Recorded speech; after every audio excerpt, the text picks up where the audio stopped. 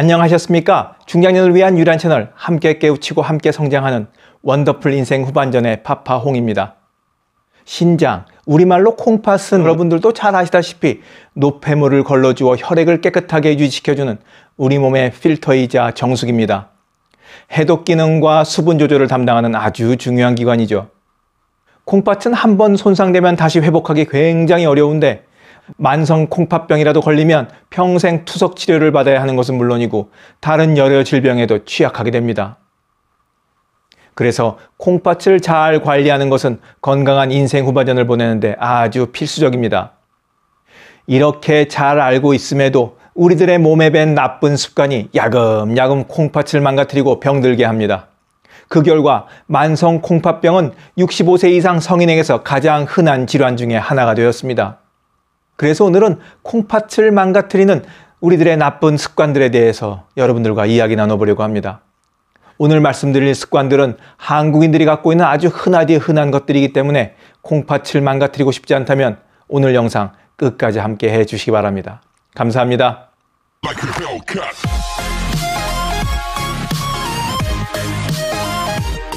콩팥에 대한 기본적인 해부학적 기능과 구조에 대해서 간략하게 공부를 좀 하고 가시자고요.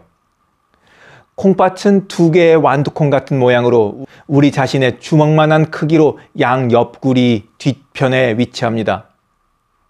하나의 무게가 150g 정도밖에 나가지 않은 아주 작은 놈들이에요. 콩팥에서 만들어진 하루 1리터에서 1.5리터의 소변은 신우, 요관을 거쳐 방광에 저장된 후 요도를 통해서 몸 밖으로 배출됩니다. 콩팥은 수많은 네프론으로 이루어져 있는데 이 네프론은 신장의 기능적 단위로서 사구체와 세뇨관으로 구성되어 있습니다. 지금 콩팥의 단면을 잘 보고 계시죠? 콩팥은 한 개당 약 100만 개의 네프론을 갖고 있으니까 우리는 모두 약 200만 개의 네프론을 가지고 있는 겁니다. 콩팥을 얘기할 때 사구체를 빠뜨리면 안 되겠습니다. 왜냐하면 우리 몸에서 혈액이 여과되는 첫 번째 장소이자 콩팥의 필터 역할을 하는 것이 바로 사구체이기 때문이에요. 이 사구체는 작은 모세 혈관들이 실타래처럼 엉켜 있는 구조로서 여기에서 혈액 속에 들어있는 노폐물을 거르게 됩니다. 이렇게 사구체에서 혈액 중에 수분과 노폐물을 걸러서 소변을 만들면 소변은 세뇨관이라는 가늘고 긴 관을 통과합니다. 자, 이제 마지막 단계인 세뇨관입니다. 세뇨관을 통과하는 동안 걸러진 소변이 농축되기도 하고 또 필요한 영양소는 다시 몸속으로 재흡수되기도 하고 또 일부는 분비돼서 최종적으로 우리 몸 밖으로 배출되는 소변이 만들어집니다. 여기까지가 간략한 콩팥의 해부학적 기능과 구조입니다. 어렵지 않죠? 이해하셨죠? 아주 간단합니다. 앞서 콩팥은 우리 몸의 필터이자 정수기라고 말씀드렸는데 콩팥이 하고 있는 중요한 기능은 크게 다섯 가지로 구분됩니다. 번째가 우리 몸의 수분과 염분의 양을 조절하면서 체액과 혈액의 전해질 균형을 유지시켜주는 체액 조절 기능입니다. 그래서 콩팥은 우리 몸의 정교한 화학 공장이라고 불립니다. 두 번째가 우리가 먹은 음식들의 소화 과정에서 생긴 노폐물을 걸러내는 여과 기능입니다. 앞서 말씀드렸었죠.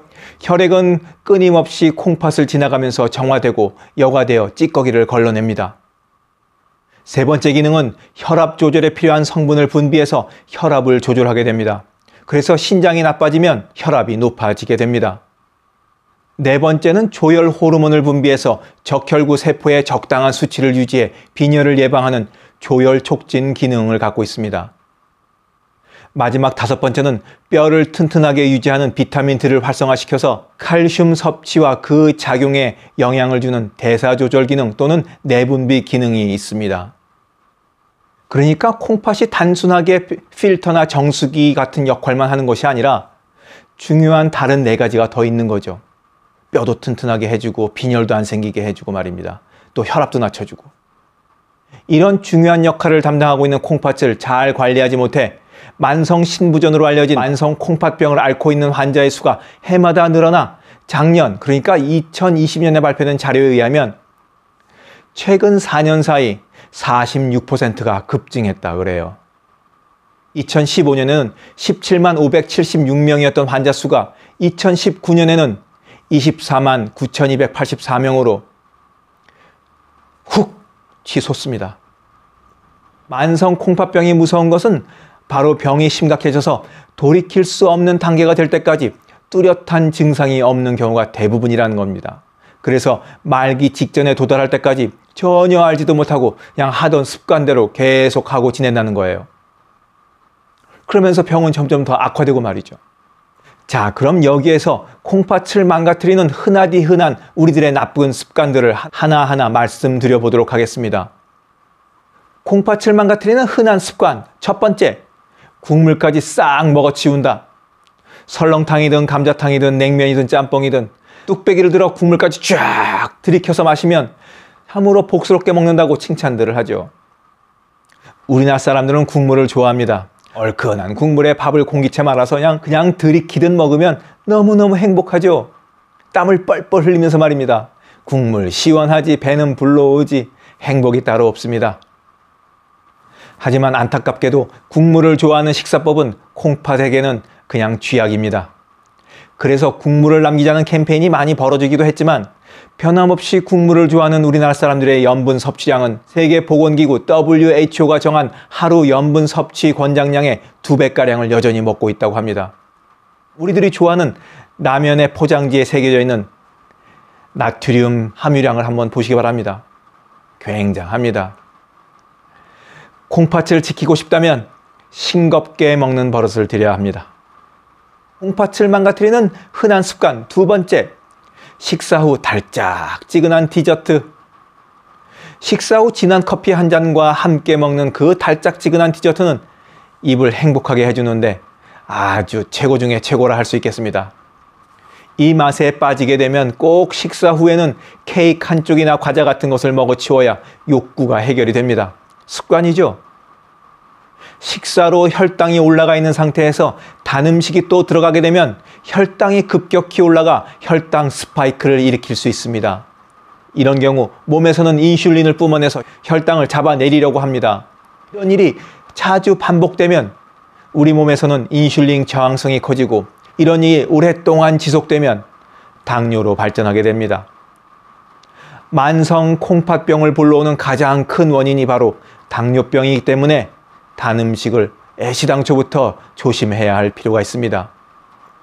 콩팥을 망가뜨리는 흔한 습관. 세 번째, 습관적으로 약에 의지한다. 두통이 있거나 관절염, 근육통 등 하여간 몸에 조금만 이상이 생겼다 싶으면 약으로 해결하려 드시는 분들이 있습니다. 특히나 작은 뼈두락지나 감기 몸살이 나도 항생제를 드시는 분들도 계시죠. 여기에 더해서 나이 들수록 종합 비타민제를 포함해서 몸에 좋다는 알약 형태로 된 이런 저런 건강식품을 매일 약처럼 먹습니다. 우리 몸의 입장에서 보자면 약은 외부에서 들어온 물질입니다. 그러다 보니 어떻게 해서든 밖으로 내보낼 궁리를 하게 되죠. 주된 방법은 두 가지가 있습니다. 하나는 간에서 해독하거나 또는 대사하는 것이고 다른 하나는 콩팥에서 걸러내 소변으로 내보는 겁니다. 또는 간과 콩팥이 합동작전을 벌여서 간이 약을 물에 더 잘 녹는 형태로 만들고 그 다음에 콩팥에서 소변으로 물과 함께 약성분을 내보내는 식으로 같이 협력하기도 합니다. 그런데 문제는 이런 식으로 몸에서 약성분을 내보내는데 중요한 역할을 하다 보니 간과 콩팥이 약으로 인해서 손상받기도 쉽다는 데 있습니다. 한 번 망가지면 회복 불가능한 장기인 콩팥을 지키고 싶다면 약에 의지해서 생활하는 습관을 버려야 합니다. 콩팥을 망가뜨리는 흔한 습관. 마지막 네 번째. 물을 적게 마신다. 외출하실 때 물병을 꼭 소지하고 나가시나요? 운동할 때나 등산 갈 때가 아니라 그냥 외출할 때도 항상 물병을 소지하고 목이 마를 때 조금씩 조금씩이라도 마셔주는 게 좋습니다. 요즘 젊은 친구들은 예쁜 물병을 많이 들고 다니던데 우리 세대도 꼭 가지고 다녀야 하겠습니다. 우리 몸의 70%가 물로 구성되어 있다고 하죠.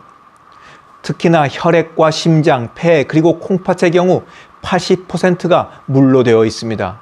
그래서 충분한 수분이 우리 몸에 공급되어야 콩팥이 자기 일을 안전하게 수행할 수 있습니다. 그럼에도 물을 적게 마시는 분들이 계십니다. 아이고, 아니, 물 많이 마셔봐야 뭐해. 오, 아유, 오줌이나 자주 마렵지. 이러면서 물을 적게 마십니다. 외출해서 오줌 자주 마리면 번거롭긴 하지만 그렇다고 물을 마시지 않으면 우리 몸의 피는 탁해지고 장기는 망가집니다. 2% 부족할 때라는 음료수 광고가 한창 유행했던 적이 있기도 하지만 수분이 2% 부족할 때가 우리 몸이 갈증을 느끼기 시작하는 지점이고 수분이 5에서 10%를 잃게 되면 정신이 혼미해지는 등의 탈수 증상을 겪게 됩니다. 그리고 오지에 고립되는 등의 이유로 수분 손실이 15%에 이르면 사망을 하기도 하는 거예요. 화장실 가기가 번거롭다고 물을 마시지 않으면 콩팥이 망가지게 됩니다.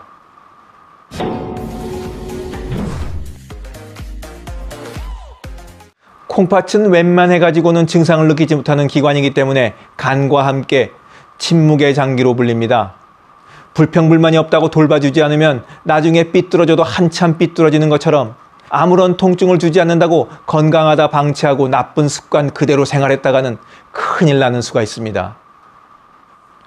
건강 검진만 받아도 콩팥 기능 이상 유무를 확인할 수 있으니까 꼭 받아보시고 평상시에는 싱겁게 먹고 국물은 남기고 단 음식 피하고 약에 의지하지 말고 물을 충분히 마시는 생활 습관과 함께 하시길 바라면서 오늘 영상 마치도록 하겠습니다. 원더풀 인생 후반전에 건강 이야기는 계속됩니다. 감사합니다. 짜잔! 하루를 충만하게 살아가는 좋은 사람들이 모여 있는 곳이 있습니다. 바로 지난 3월 5일에 문을 연 실버들의 전성시대 네이버 카페입니다. 서로를 격려하고 응원해주는 넓은 마음과 나와 다른 생각을 지닌 사람까지 포용할 수 있는 열린 마음을 갖고 계시다면 실버들의 전성시대에 가입하시기 바랍니다. 댓글란 맨 위에 적어놓은 링크를 누르시면 가입할 수 있습니다. 아주 쉬워요.